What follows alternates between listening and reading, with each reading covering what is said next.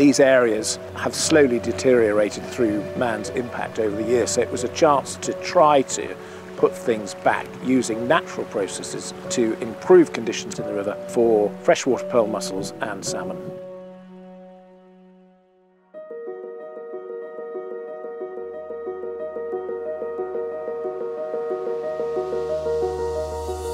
We need to completely change the way that we view rivers.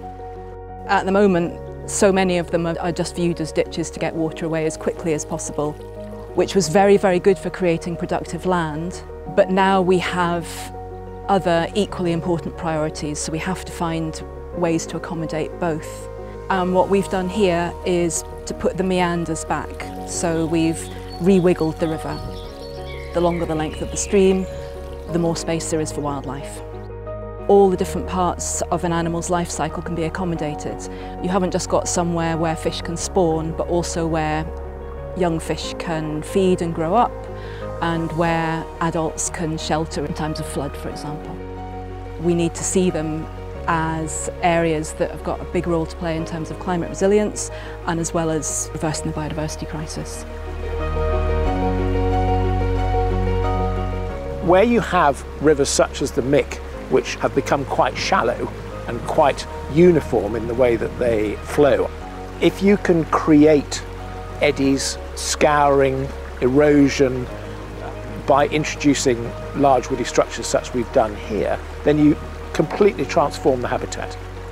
And you've also got deep pools where the water is cooler and that creates shaded areas where fish can retreat to when the weather gets hot basically giving it a helping hand by speeding up the process and putting these trees, which come from here, they're natural windblow trees that we put into the river. And by creating better conditions for breeding and their young life as fry and parr and then smolts, I think that's the way that we can protect the salmon, which is in crisis. We're on the Bronny Burn, which is near Ellon in Aberdeenshire, and we're at a site of a Water Environment Fund project, which was to remove a weir, and we also did some river restoration works here. The weir, um, as, it, as it had been, was impacting natural river processes. It was backing water up by about 150 metres because of the low slope of the channel. It was also impacting fish passage. But we can't just remove the weir and expect the channel to remain stable. The channel will adjust. So what we had to do was design the sections of channel upstream and downstream to make sure that this river environment here was stable. We were engaged back in summer of 2022 after a successful tender process to undertake the removal of the weir.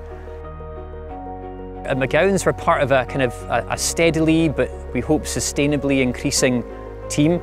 A lot of the work that was done on this job was undertaken by one of our apprentices who'd been through that process and was just sort of coming out of it and was really sort of flying, you know, under his own steam.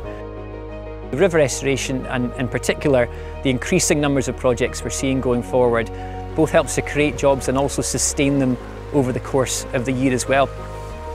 If a landowner has a barrier which is historic so it's no longer in use and it prevents fish from migrating they can speak to us at SEPA. There's a massive ecological benefit of improving natural processes as a result of taking the weirs out and also the opportunity to open up large lengths of river that are inaccessible to migrating fish.